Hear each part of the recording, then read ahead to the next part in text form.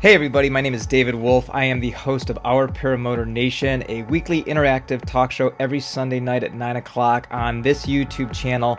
We have some of the most recognized faces in powered paragliding on the show each and every week from not only our country but from around the globe, giving us their insight and entertaining us. So if you haven't checked out the show yet, make sure you subscribe to this channel. Make sure you hit the bell to be notified when the show begins. You can go and see all the previous episodes on our website, www.ourparamotornation.com. Check out all of the sponsors that we have, all the information that's on there. So much information for you to check out in one resource. You can also go onto our Facebook page, Our Paramotor Nation, get all the updated real time information right there as well.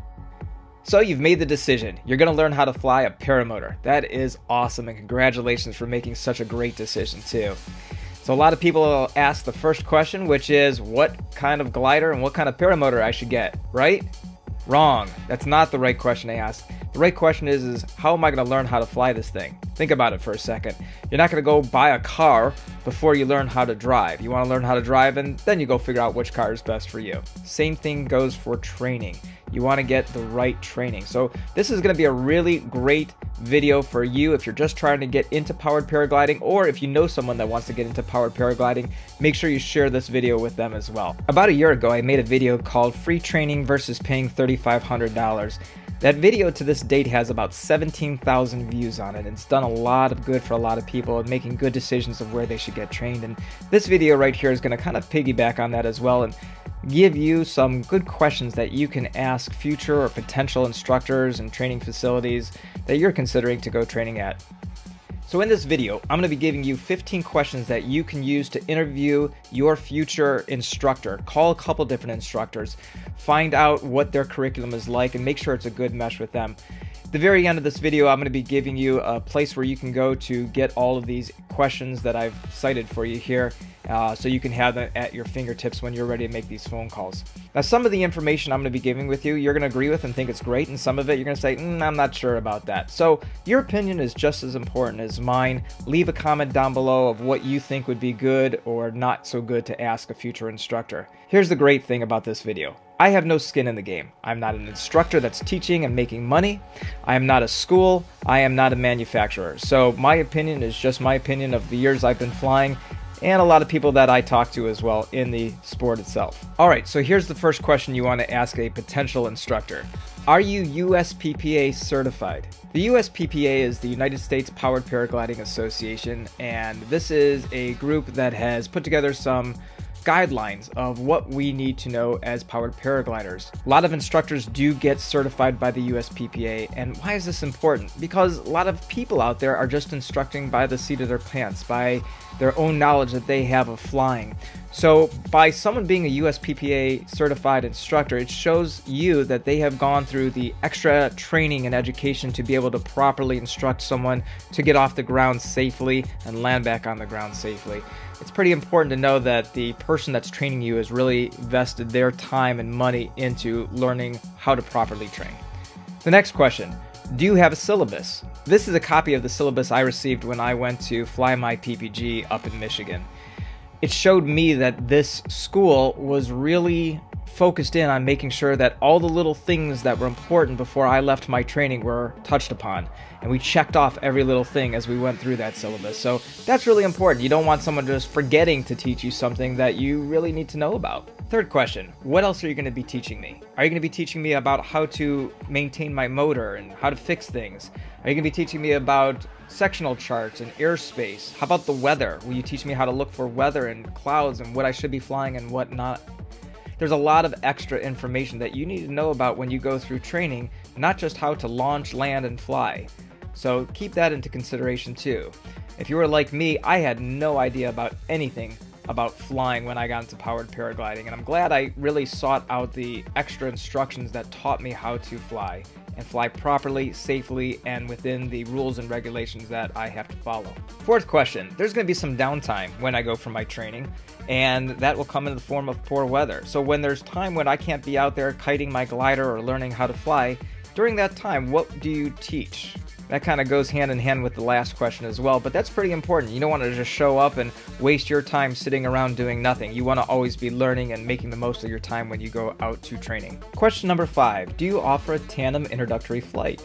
Some people are not 100% sure that they want to get into this and they'd like to take that first flight before they truly commit. So maybe it's not the most important question to ask, but you want to see if that is something that is available to you if you can do an introductory tandem flight. Number seven, do you have accommodations that you supply when I'm out there training, meaning a place to stay? Or if they don't, are there hotels nearby?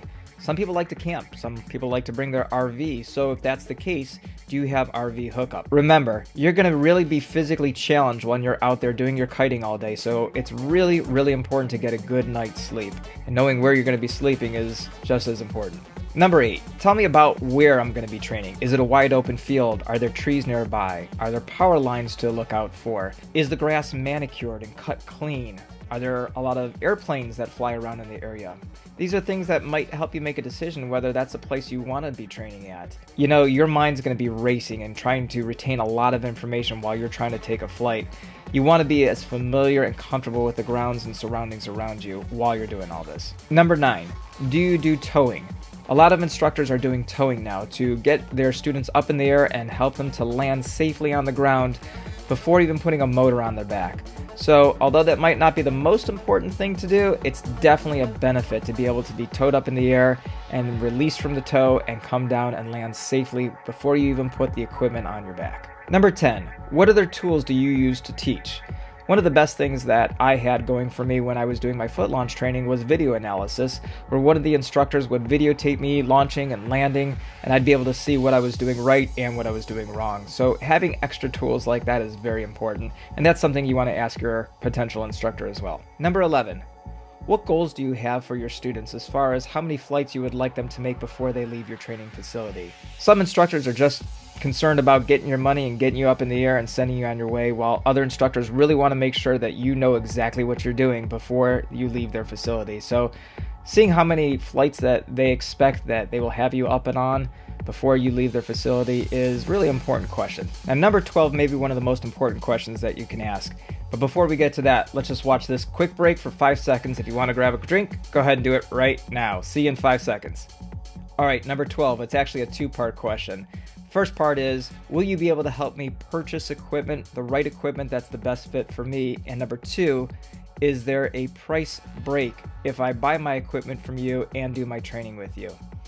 I highly discourage people from buying used equipment to go train with because you never know what that equipment's gone through. I recently met a gentleman who purchased a glider online for cheap, and when he got that glider, there was holes in it. Well, now he's paying for repairs on that glider as well. So your instructor is not going to lead you astray. In fact, your instructor, they do a lot of work for very little pay through training. It's a nice gesture to be able to help them out by getting your gear through them as well. And if something ever does happen, you can call them up and they'll help you through the issues that you might be having with your gear. So making sure that uh, your instructor can help you get good gear and that they'll work with you once you have your gear that's a really important thing to have in your back pocket as you go through training. Number 13, and that's kind of a good lead in from the last question, is once I'm done with training, what type of support can I expect from you? You know, are you able to call this instructor after your initial training and ask them questions or tell them that here's the issues I'm having while I'm flying? Will they answer their phone calls? Will they return your calls if they're busy with another student? If they have questions about their equipment or they're having uh, issues or oils coming out of places that you never knew could come out of. Will they be able to walk you through that and help you and give you that support that you're looking for? You just don't want someone that's going to sell you equipment and then leave you high and dry, and good luck to you. Number 14, what is the student to trainer ratio when I go through classes? You know, it's not great to have too many students to one instructor. You want to have as few, of course, as possible so that you're getting as much individual attention as you possibly need. That's not always possible to do that, and some instructors will have three or four different students, but the lower the number, the better because, like I said, you're going to get individual instruction and learn more in a quicker amount of time.